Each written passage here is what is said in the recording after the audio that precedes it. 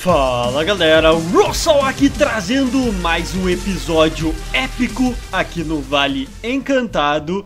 E a pedidos de vocês nós temos para este episódio Manada de Sinoceratops e também o Baryonyx, mais conhecido agora como Rudy. Vocês podem ver também que houve algumas modificações na nossa ilha devido à grande seca Olha aqui, ó, a gente já não tem mais aquele, aquela junção, né, do riozinho com a parte uh, central, com a parte mais obscura da ilha, né, mais longínqua. Agora a gente não tem mais esse córrego, infelizmente. Aqui também parece que já secou essa parte, não temos mais também aquele grande lago que tinha aqui, tá diminuindo bastante pelo visto. E também aqui já está pronto os nossos Sinoceratops. Vamos soltá-los aqui na ilha. Vamos lá. E aqui desse lado vamos soltar os outros. Eu fiz basicamente 8 Sinoceratops. Eu acho que vai ser um número legal pra gente. E também o Baryonyx. Infelizmente ele não tem na cor branca. Então eu peguei uma cor meio clarinha, escura. Pra simbolizar o nosso Rudy. Que na verdade vocês sabem que é uma referência ao dinossauro da Era do Gelo, né? O Rudy, aquele brancão lá. E vamos já apelidar o nosso. Esse aqui vai ser. Caraca, ele é muito igual, sério. Muito igual o Pets do Caminhando com o Dinossauro. Vai ser esse o nome. Se eu não me engano, eu acho que o nome é assim, ó. Acho que é Pet, assim. Perfeito. Ele é o nosso, então, líder. Tá aqui. Não, ele acabou não virando líder, mas pode ser, pode ser que ele pegue depois, não, não tem problema. Vamos ver aqui como é que estão os nossos carnívoros. O nosso Karcha, ele tá com fome, a Karcha fêmea. Provavelmente vai caçar. Só espero que não pegue o Steve. Cadê o Steve? Steve, cadê você, meu filho? Você vê que o Steve é bem. Ele é muito inteligente, sério. É verdade. Ele se afasta. Aqui tá ele, ó. Ele se afasta dos carnívoros. Ih, acabou de pegar aqui um filhote. Ih, não é filhotinho, né? Mas é um pequeno galimimos. Coitado. Aí agora ela tá se alimentando de boas. Vamos deixar ela comendo aqui. E também o ceratossauro aqui, o nosso Redhead, acabou de caçar também um galimimos. E agora tá dormindo, né? Caçou e tá guardando a carcaça dele bem do ladinho. Beleza, será que já tá pronto aqui? Vamos ver, Rudy está pronto. Saindo então da jaula, o monstro.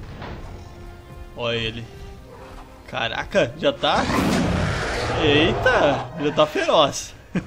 o menino. E liberado aí pra gente nomear, colocar de Rudy.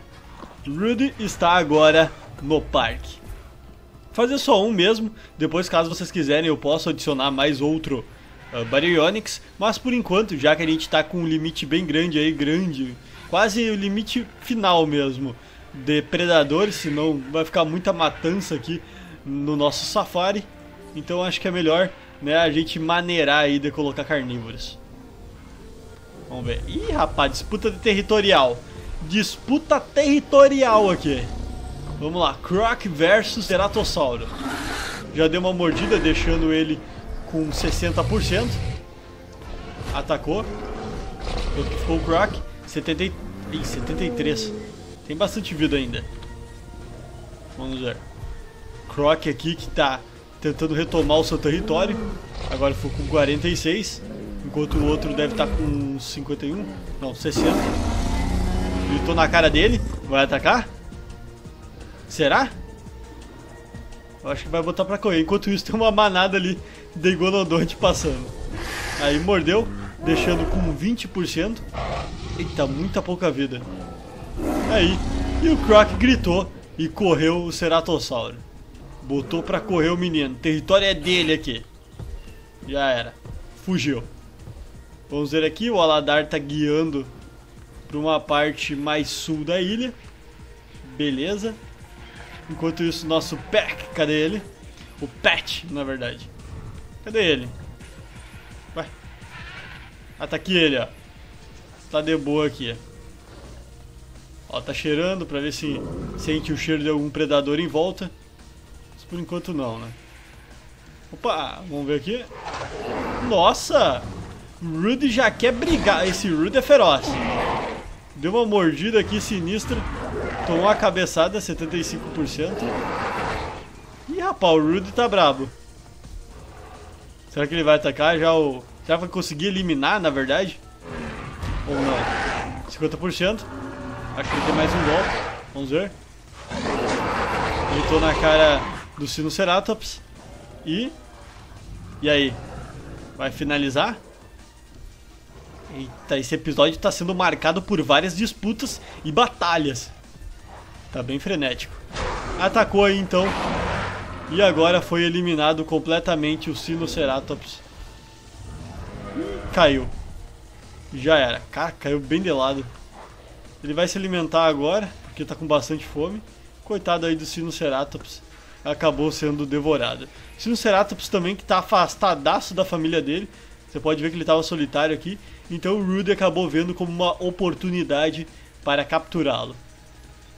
Vamos ver, aqui tem uma manadinha de galimimos, sempre a nossa querida manadinha, né, que se separaram, aliás, eles estavam aqui no sul, mas, olha, pelo que parece, ah não, a grande maioria acabou voltando, olha que interessante, acabou retornando aqui, aquele grande grupo de galimimos, que eles tinham se separado no último episódio, mas agora estão retornando, ah, e aliás, né, a gente perdeu o nosso Guiné também, infelizmente, e acabou sendo devorado, pelo Croc, se não me engano. E aqui eles estão conversando entre si. Beleza. Ih, rapaz. Um foi comido aqui. Mais um ataque. Pegou desprevenido o Galimimos. Vamos ver por cima aqui como é que tá. Opa, uma batalha. Nossa! Igonodon tivesse Cerato. Mas já foi devorado aí então. O Igonodonte, coitado. Esse que também acabou se separando da sua manada. Você pode ver que ele está solitário aqui eles estão sendo espertos, eles estão meio que pegando os dinossauros mais solitários para se alimentar. É interessante. Tá, e agora a gente tem que liberar mais dois galimimos antes que eu me esqueça. Tinha liberado só um. Quase esqueci, quase. Vamos fazer dois aqui então. Deixa eu ver como é que tá aqui em cima. Tá tranquilo, tá. Tem um Sinoceratops que foi devorado e o Golodonte que foi devorado aqui embaixo. Mas de resto tá tudo tranquilo, né? Tivemos a disputa de território do Croc versus o outro Ceratossauro Escuro. E por enquanto é isso. Aqui temos o Karcha fêmea, né? Se afastou, provavelmente ocorreu uma briga de casal. E olha, falando que a gente estava dizendo da seca anteriormente, e agora está chovendo novamente aqui na nossa ilha. Muito bom. Isso aí vai dar uma renovada, provavelmente. Então já esperem algumas mudanças talvez no próximo episódio. Talvez. Beleza? Já vamos soltar aqui então os galimimos que estão quase, quase 60%. Vamos só dar uma olhada aqui, cadê o... Aqui, ó. Rudy tá de boa na dele aqui. Tá pegando uma chuvinha, se refrescar, porque tava um calorão. Ele tá aqui agora no laguinho dele. Tranquilinho. Vamos olhar por cima aqui, vamos ver.